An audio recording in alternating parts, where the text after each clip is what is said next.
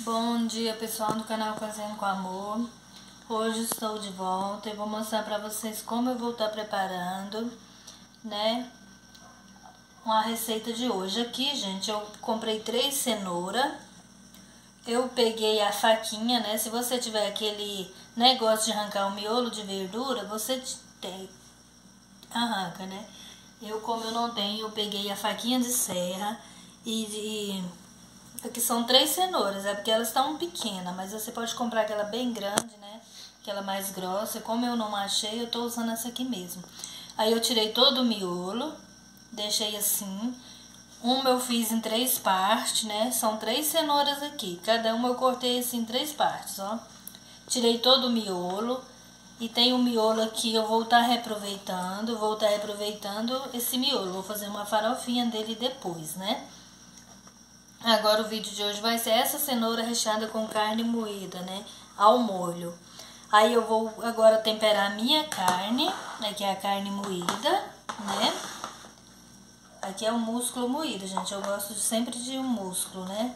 Vou colocar uma colher de alho amassada, que eu coloquei pimenta, né? Tá até um pouquinho vermelho. Coloquei pimenta.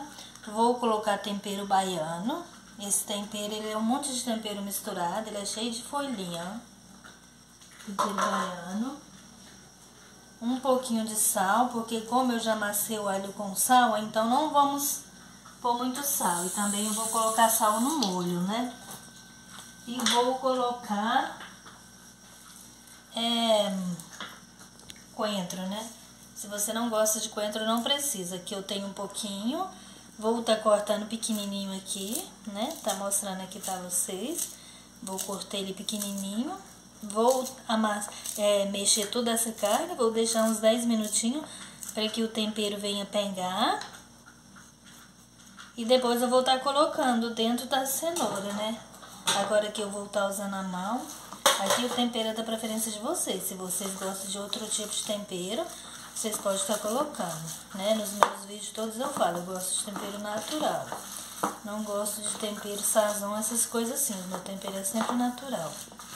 Agora vou amassar essa carne moída. E vou deixar 10 minutinhos pra mim tá recheando a cenoura, né? Vou tá recheando a cenoura. E fica bem gostosa. Parece que vocês não deixam de fazer, gente. Fica maravilhoso esse videozinho, né, gente? É uma receitinha fácil, simples. Achei aí no canal, fiz já uma vez para testar, ficou muito gostosa e eu vim compartilhar com vocês. Que vocês têm cenoura em casa, não sabe como tá usando, não gosta de cenoura, faz assim que você vai adorar, né? Vai ficar muito gostosa. E aqui agora eu vou deixar uns 10 minutinhos aqui e já volto com vocês com um pouquinho no tempero, eu vou colocar um, um pouquinho de óleo. Só uma colherzinha. Vou, tem aqui uma cebola, vou é, coisar um pouquinho aqui com um cortador, com um descascador de verdura. Eu gosto sempre de estar cortando cebola com um descascador de verdura, porque fica assim bem fatiadinha, bem gostosa, né? Vou estar tá cortando aqui com cortador de verdura. Não precisa muito, porque como o molho de tomate também ele já é temperado, então não necessita estar tá gastando muito cebola, né? Coloquei um pouquinho de cebola. Vou colocar um pouquinho do alho amassado, né? Aquele alho que eu usei lá na carne. Dá uma mexidinha aqui. Colocar um pouquinho de sal, para que não venha ficar sem sal nos molhos. E agora vou colocar um molho de tomate, né, pra gente estar tá fazendo aquela cenoura recheada, né.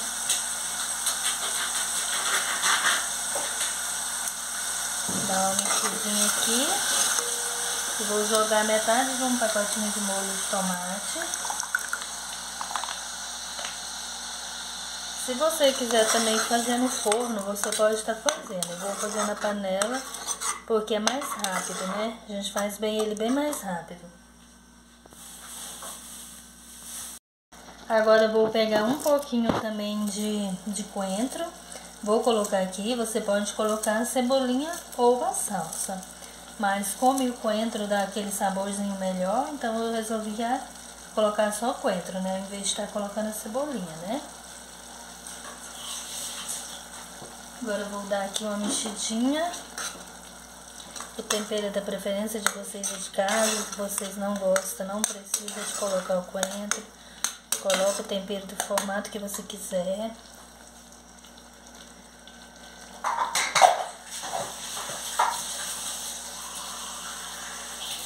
Agora eu vou colocar meio copinho americano de água. Vou deixar esse molho aqui ir fervendo. E a gente vai lá pra carne, rechear a carne e já colocar aqui, né? Vamos lá na carne pra gente estar tá colocando e pra colocar aqui nesse molho. E, gente, aqui a minha carne ficou, né? O tempo que a gente estava preparando o molho. Agora eu vou pegar as porçãozinhas e vou estar tá colocando dentro da cenoura. Olha pra você ver, vou estar tá colocando dentro da cenoura. Você coloca, vai colocando devagarzinho pra dar pra você rechear bem recheadinho, né?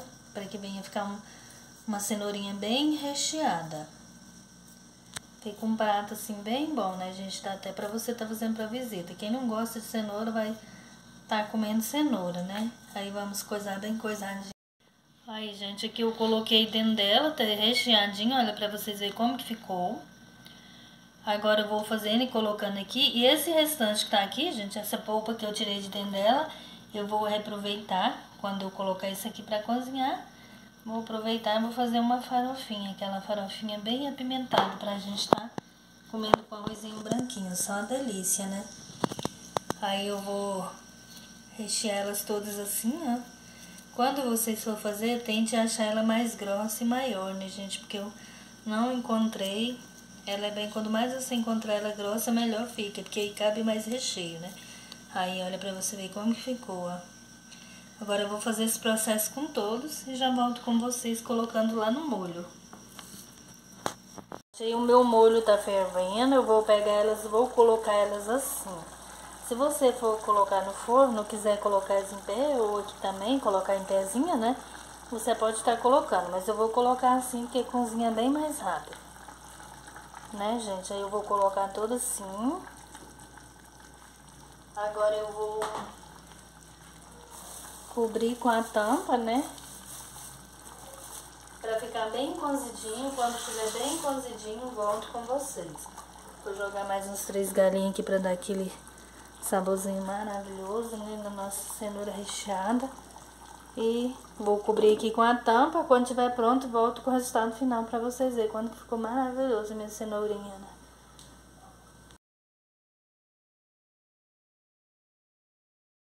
Gente, aqui já tá cozidinha. Olha a maravilha que ficou, né? Não sei se que como eu tô gravando à noite, gente, pro jantar, eu não sei se vai ficar bom a gravação, né? Mas já tá cozidinha porque cenoura é bem molinho. Agora eu vou colocar uma no prato pra não tá passando pra vocês como que ficou. Olha a maravilha que ficou, gente. Só uma delícia, né? Gente, com aquela sombrinha da cenoura Aí sobrou carne moída também. Fiz essa farofinha maravilhosa pra gente acompanhar junto. Olha que maravilha, ó. Tem uma panelada de farofa com aquele restinho de cenoura, ó, gente. Olha que maravilha que ficou, ó. Agora vamos lá finalizar o vídeo, né? Aí, gente, agora eu vou pegar uma, vou estar tá colocando aqui pra gente estar tá partindo pra mostrar pra vocês como que ficou a delícia colocar aquele molhozinho, olha.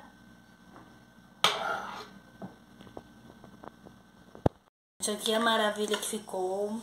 Agora a gente vai estar tá colocando aquele coentrozinho aqui. Olha a delícia. E já vou aproveitar também que eu fiz a farofinha. Colocar uma colherzinha aqui pra gente estar tá servindo, né? Colocar aqui do lado.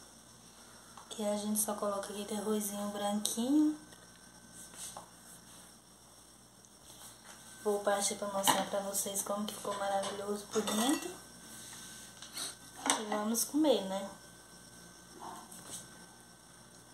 Pensa num trem gostoso, gente, que fica aquele cheiro de dar água na boca, gente. Olha aqui. Que maravilha que ficou. Aí você já pega esse coentrozinho aqui e põe e come junto ao mesmo tempo. Pensa, gente, não tem nada mais gostoso, né? Olha a maravilha, olha por dentro. Que ficou, como que ficou, ó. E é isso aí, agora eu vou finalizar o vídeo do meu canal. E se Deus permitir, volto novamente amanhã. E até amanhã com vocês. Tchau!